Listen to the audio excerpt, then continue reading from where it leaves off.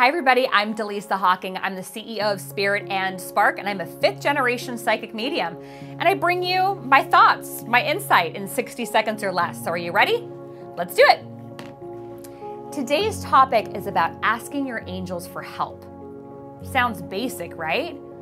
You got to keep this in mind. Angels will not interfere and help you unless you specifically ask. They don't they don't interfere with free will. And so maybe you've been thinking, "Oh, they just know what I need and they're going to deliver it." No, no, no, no, no. You have to ask them for help. So you can go into meditation or simply close your eyes or you can be at the DMV and just asking for peace and serenity. Ask your angels for whatever it is you need help with.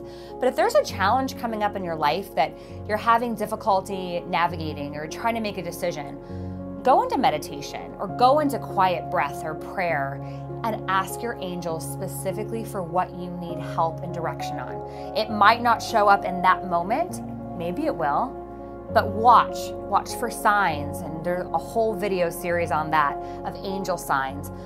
But just be open to how the universe is going to bring the answer to you. But if you ask, it's going to come through. All right, I'm out of time, but please subscribe so you don't miss any future videos and comment. Let me know how do you uh, communicate with your angels? Do you pray? Do you simply just ask them for help? So tell me more. I'd love to hear it. And I'll catch you on the next video. Bye for now.